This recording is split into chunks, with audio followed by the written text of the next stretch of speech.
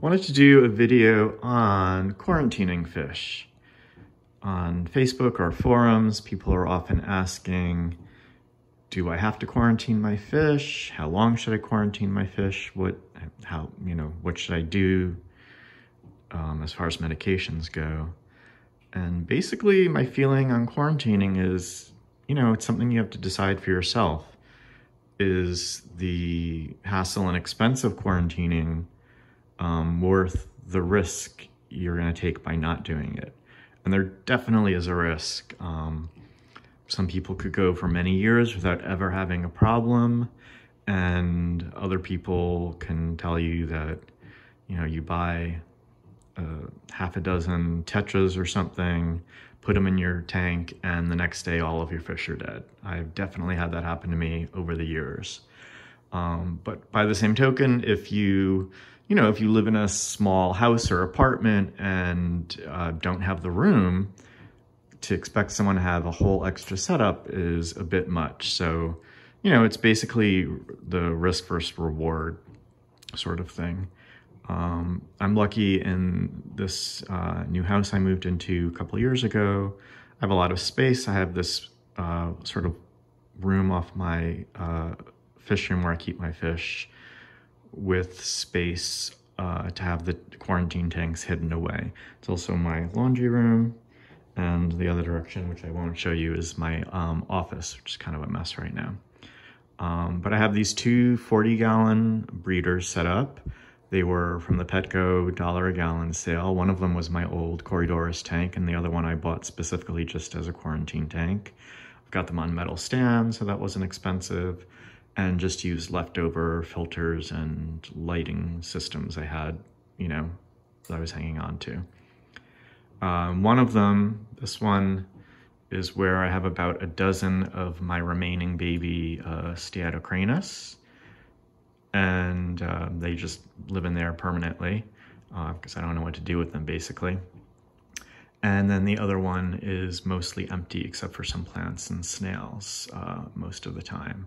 I considered breaking them down between um, quarantining because sometimes, you know, I might go months and months between um, getting new fish, but just the hassle of doing that and then resetting them up, I just decided not to bother and just pretty much leave them running uh, year round for now, at least.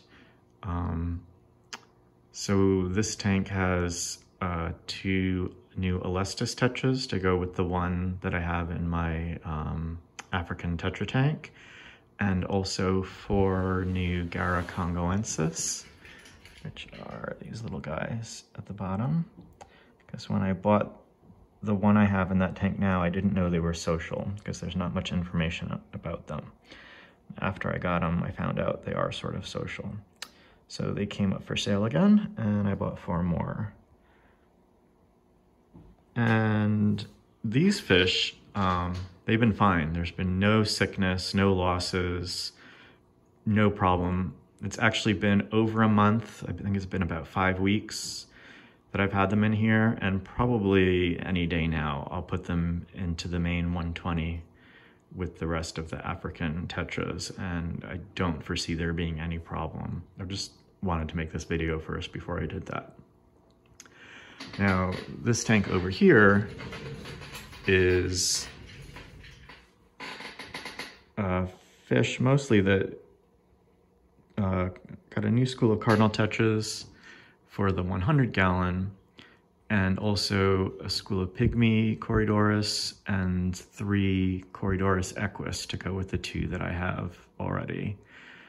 So, and then there's also um, half dozen Siamese algae eaters, which I'm planning on putting in the African Tetra tank just to deal with the algae in there. Although they're actually not doing such a good job eating this hair algae on the plants, but anyway. So this tank, the Cardinal Tetras, right after I bought them, I bought 20 and I lost six pretty much right away. So that's definitely reason for concern. So even though it's been five weeks, uh, it's been stable, I haven't lost any more, they seem healthy um, I might quarantine them for two months instead of, uh, you know, a month or six weeks, um, just to be 100% certain that there's no problem. uh, little tetras or little fish in general tend to be delicate. Um, the travel time to get here um, could have been a problem, or there could have been some disease. There could be, I've had big issues with cardinal tetras in the past where sick fish completely obliterate all my existing fish. So it's something I want to be a little cautious on. Uh, that 100 gallon tank already has a school of about 50 cardinal and green cardinal tetras and green neons and hundreds of dollars worth of Corydoras. So I'm not going to do anything to risk those fish. So it could be two months that they stay in here. It could be three months. And only when I'm feeling 100% certain that I'm not going to have any, you know, mystery illness occurring um, will I feel confident in putting them in that tank. Um, I think it is probably fine because out of with those six losses, there haven't there hasn't been a single other one in in um, five weeks. But it's better to be safe than sorry. Um, I would be pretty upset if I put these in the tank and then lost, you know, half the fish or all the fish in there. So that's basically what it comes down to. It's just a, a you know personal feeling of of risk versus reward. It could be monetary uh, like with my fish, uh, in both my main big display tanks, the fish, some of the fish I have are, you know, reasonably expensive and I can't afford to suffer huge losses. Um, or it could be sentimental. It could be you've had a fish for, you know, I have a, another tank where I've had the fish for five years and would feel pretty rotten if I introduced some pathogen that wiped them out.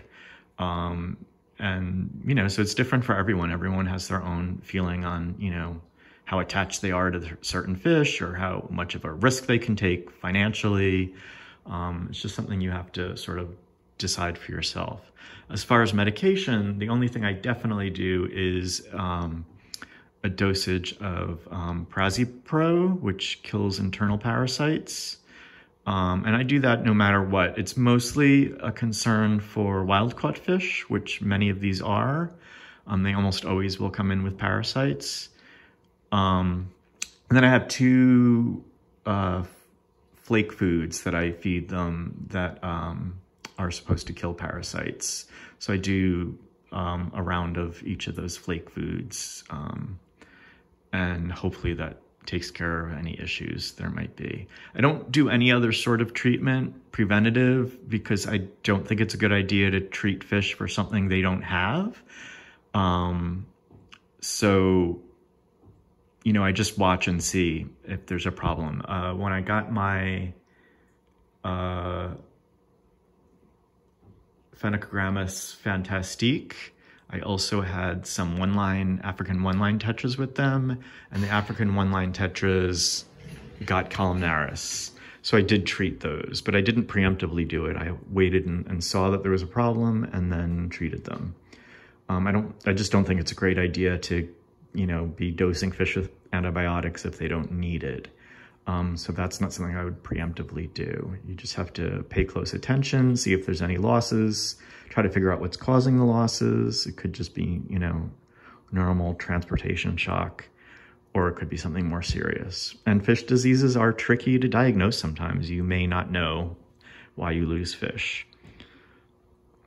So anyway, like I said, I've got the room and, you know, there's value in the fish that I have. So I thought it was worth it to do, um, you know, for my current setup.